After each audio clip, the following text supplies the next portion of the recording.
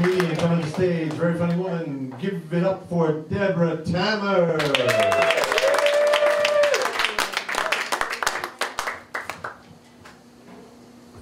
So I'm English. and I love living in New York. I mean, you've got, yes, you've got things here which we just, we don't have in England. For example, the other day I was trying a dress on and uh, when I came out of the dressing room, another customer came up to me and said, It doesn't suit you! we don't have. I, uh, I got in a yellow cab the other day and uh, the driver heard my voice and he said, uh, where are you from? Are you British? I'm like, oh, yes, yes, I, I am, I am, I'm, I'm British. He's like, you destroyed my country! oh, sorry, um, what, what country is, is that? Palestine! Wait till he finds out I'm a Jew. he then goes on to tell me how the Brits screwed up his country. His name's Mohammed. We have a nice conversation. And then he says, But you know who are the worst? I'm thinking, oh shit. Um, the worst are the Jews. I am never going to make my facial. anyway, uh, we keep talking, and he says, uh, "What is your name?" Debra. And he said, "Ah, that is that's a nice name." And now I'm feeling quite encouraged, so I decide for some reason to say, well, actually, my full name is Devorah Yetta, which is both Hebrew and Yiddish. Let's just keep the Debra, please.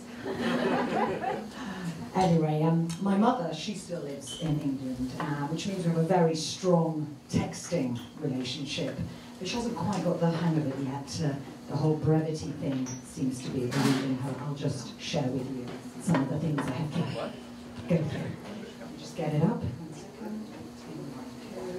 Right, for example, I text, no reason for alarm, mum, but Alice, that's my youngest, fell and broke her wrist. She's fine and on the mend. She replies, I'm so grateful for your advice not to be alarmed. when it comes to the health and well-being of Alice, even the slightest setback would be alarming to me. and it's not just Alice I worry about. I harbour anxiety about all my grandchildren.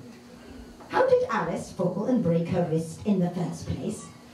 Don't tell me you ignored my advice and got her a skateboard for her birthday. This news has reminded me of when Ruby fell off her pogo stick. I told your father at the time that the pogo stick was a bad idea. You know, Auntie Mavis used to be a radiologist and was wondering what bone Alice broke.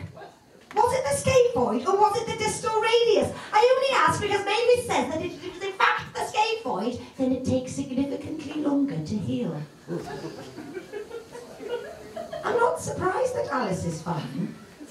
From the moment she was born, I felt that she was an excessively positive child. So glad she's on the road to recovery. On to another subject.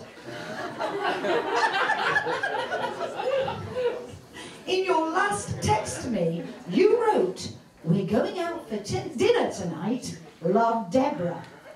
I couldn't help but notice that there was no period after the word dinner. I've noticed this isn't, this is the case in your texts more often than not. I only mention this because I know you share my great respect for proper punctuation. All my love, Mum.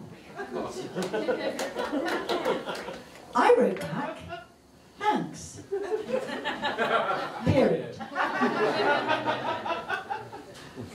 I uh, decided to take my three daughters to see the musical Six the other day.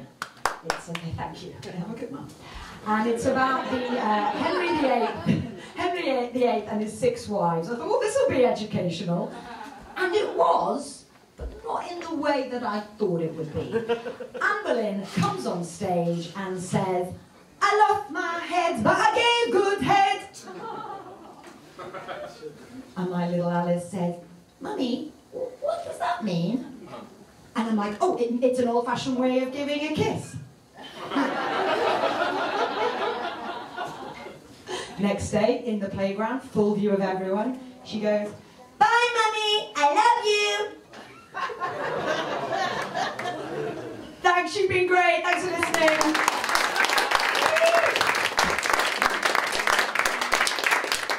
All right, keep it going for Debra Tammer. And next coming